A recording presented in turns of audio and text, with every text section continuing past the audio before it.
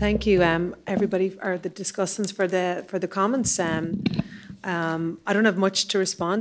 I think all of the points that you made are are um, are, are, excellent. I particularly like the the point about thinking about the natural resource sec sector as being kind of an upstream sector that can feed into a more complex manufacturing base, and it's something I'm going to definitely give some thought to um, in the times to come. But what I'll do is I'll hand over for maybe first to John to respond to some of the comments, and then you can respond.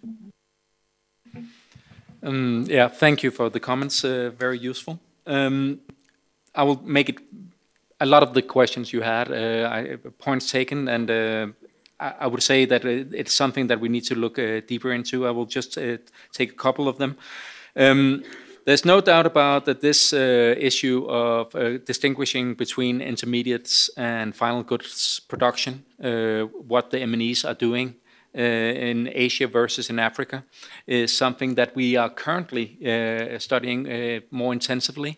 Um, there is clearly a tendency in the data that we have focused on that the MNEs they pro produce more intermediates for local markets in Asia than in Africa, and but it's not entirely clear what is the higher value added uh, part of the production. Uh, that is something that is uh, puzzling us a little bit. Uh, that there is a lot of variation in the value added, gain of in, in engaging in different types of production in Africa, uh, whereas in Asia it's uh, very clear that both the learning effects uh, differ in terms of whether you produce intermediates or final goods product, products in Africa, we see very a large variation across uh, uh, countries whether they do one or the other. So my it's the point is taken. The reason why we may not have highlighted it more is because we are still uh, looking into this issue, and hopefully we can give you a more uh, solid answer in a year or two on that. Um, about the contractual arrangements, um, I've been doing some work also with Carol and uh, Neda Trifkovic and others on these uh, matters of uh, contracting arrangements, mostly in Vietnam, I have to say. Um, and these uh, local content elements, um, there's no doubt about that the, there is a, it reduces from the point of view of the MNEs having a contractual arrangement also in terms of um, technology transfer. Uh, in order to get some of the contracts, they need to sign the contracts of technology transfers in Africa more than they do in Asia. That is one thing that is clear from some of the work we did in Ghana uh, um, and compared to Vietnam.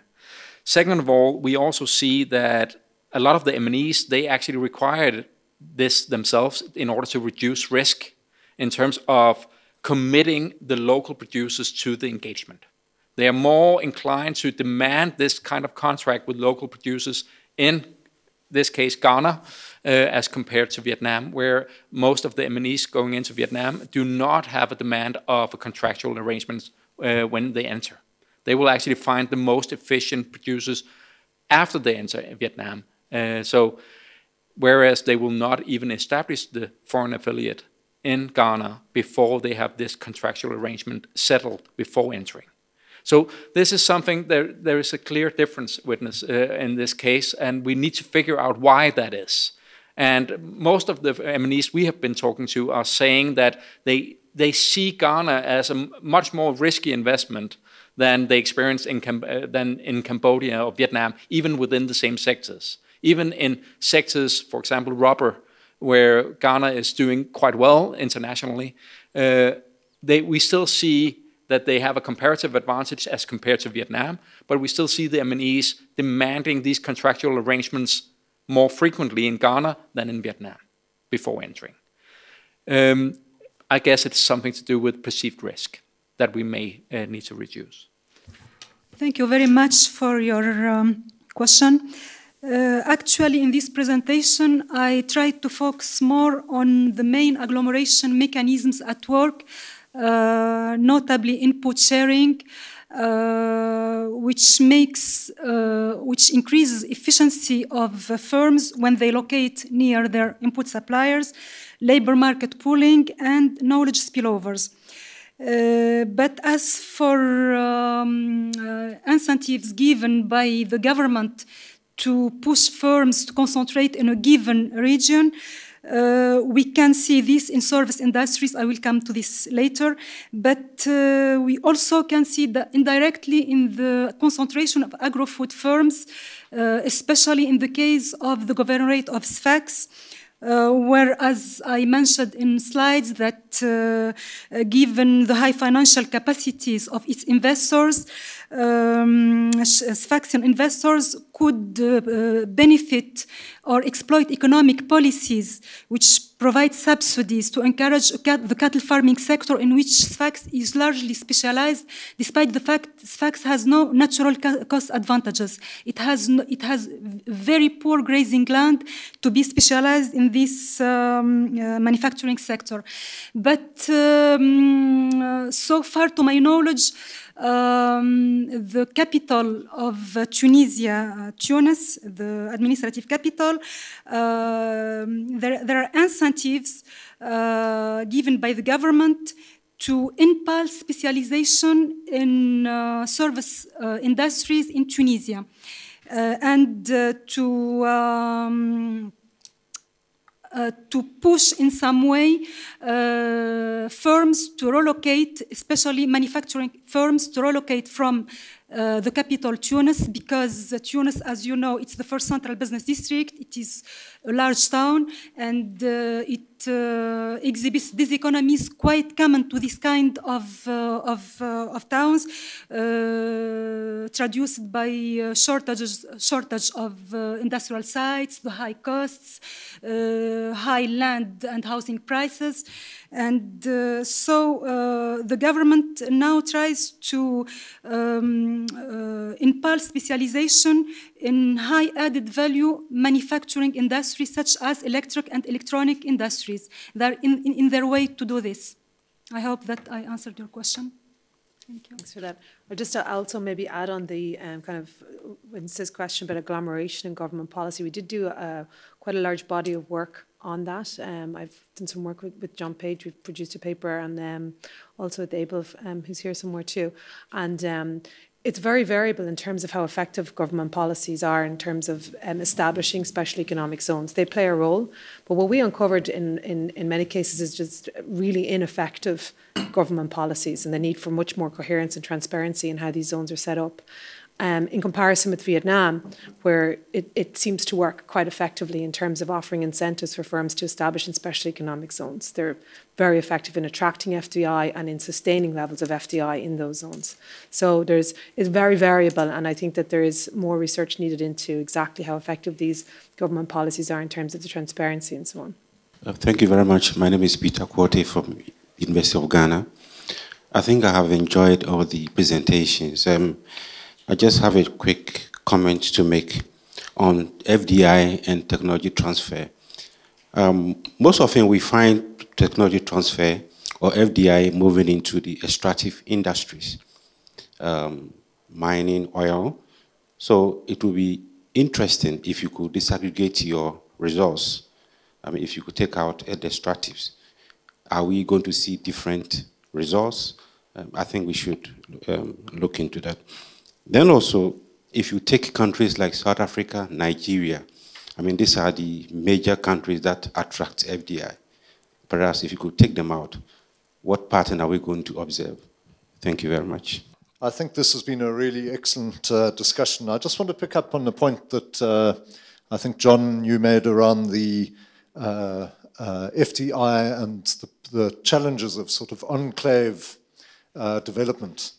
I think certainly what you're seeing in uh, southern Africa, particularly, there's been there has been a big drive around uh, local content legislation, but it's been very rough. So typically, it'll be you know they'll slap on a 30 or 40 percent local content provision, uh, and it might be in oil and gas or mining or whatever.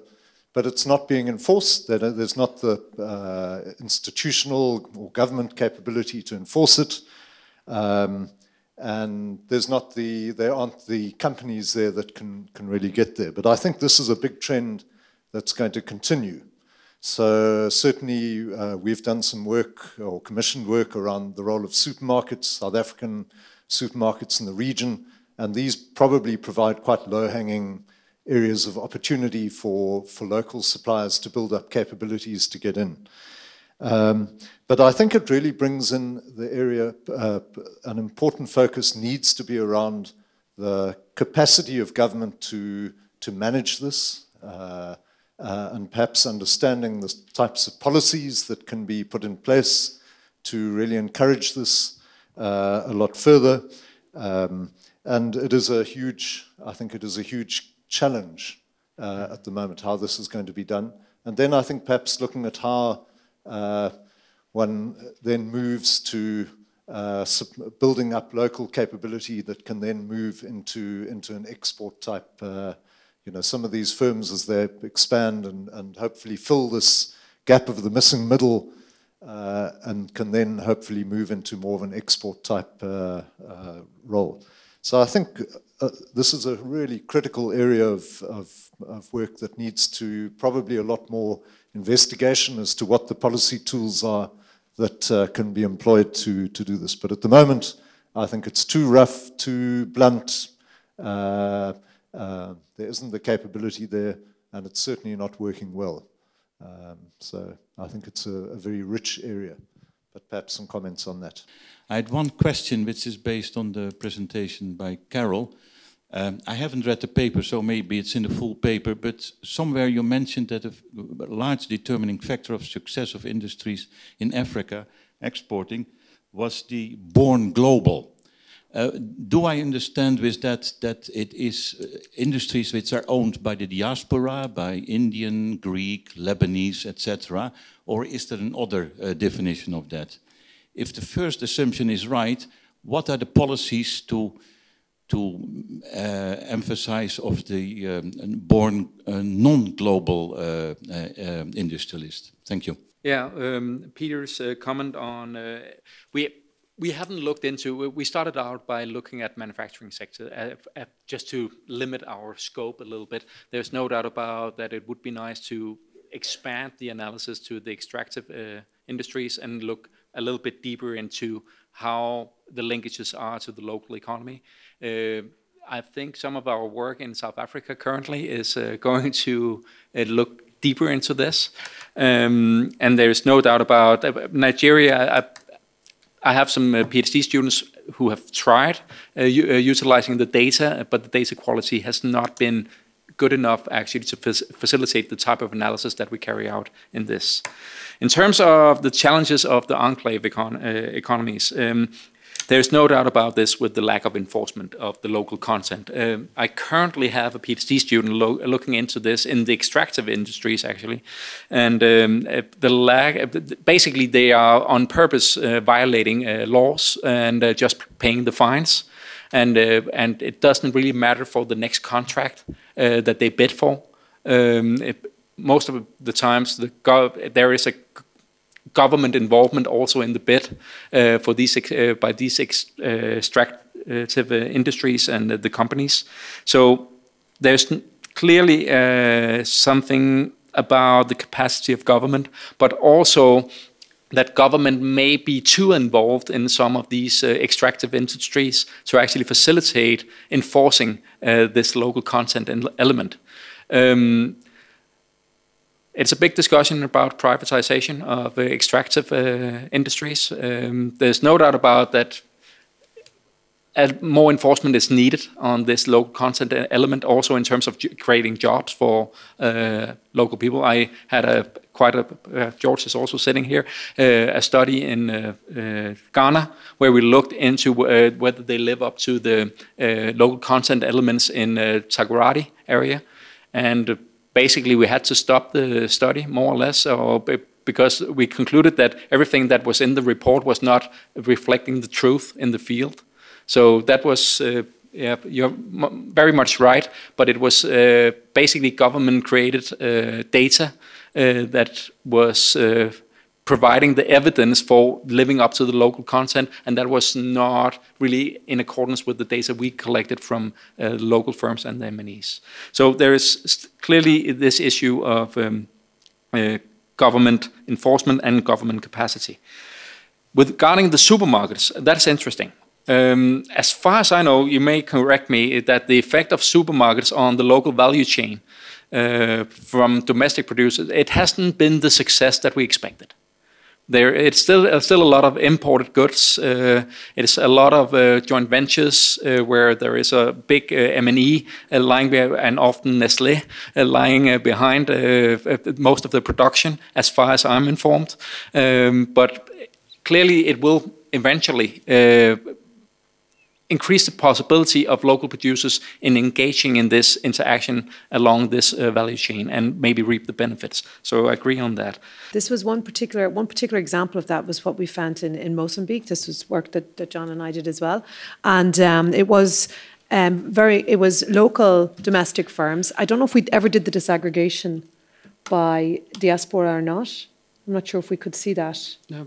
I don't think the data allowed us to see that, so we're not sure. But they were, would have been classed as domestic firms that established, and the minute they, the minute they established, they were exporting. And in terms of the policy implication of that, then you know one of the things I kind of mentioned um, in the presentation was that there is a clear problem accessing markets, accessing export markets. Um, so the knowledge of the markets of where you're going to export to appears to be a big constraint for local firms in terms of entering into those markets. Um, also, trade logistics, um, actually accessing getting the material that or getting the goods to the port, for example. That's another very significant constraint for some of the domestic firms. So, um, in terms of the policy, I think it's quite quite obvious in terms of selection into exporting. It's um, those kinds of constraints, but also capabilities themselves. And I think a lot of what we talk about comes down to the domestic capabilities um, and um, what kind of policies can we um, look at there in terms of building up those capabilities to, to be able to enter into export markets. There's a lot of work to be done domestically first you